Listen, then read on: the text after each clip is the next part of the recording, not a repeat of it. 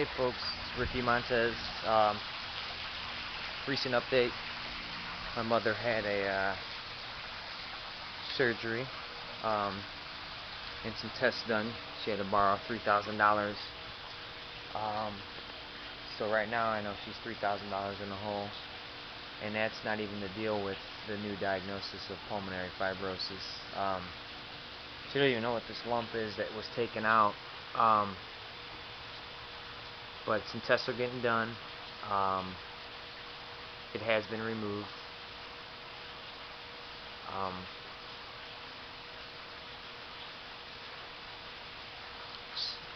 I'm gonna need your guys' help. You know, I don't think I can make it without my mother, and I know each and every one of us can relate.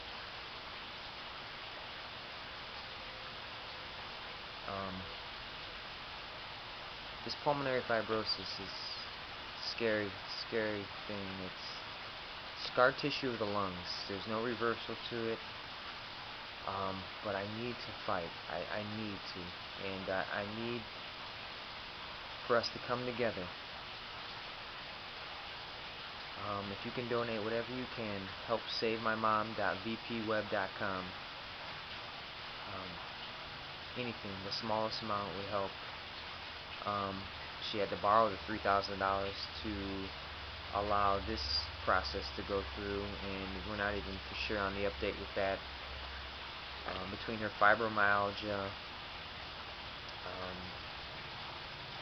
pinched nerves, slip discs, I mean, she's and fibromyalgia. If you know a little bit about it, uh, kind of um, makes everything a little bit more painful, you know, just multiplies it by 10, so it's very hard for her to function normally, and it's sad because um, I mean, she's got a lot to offer. She could still work if she was healthy, and right now she's not there, and I need to help, need to find a way to get her back where she was, and to get through this. Um, I'm really going to need anybody out there that can has a little extra money on the side. I know these these times are hard right now, and um, if you can donate anything, and along with that, you know, the fundraising event I will do. Um, it's in the middle of May. I think it's going to be May 14th. I'll set out. Um, every 20 miles I finish.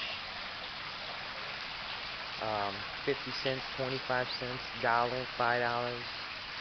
Might only make it three days, whatnot, but I'm gonna try to make it the whole 14. Um, just need a little participation, and uh, I'd appreciate it. Help save my mom. mom.vpweb.com.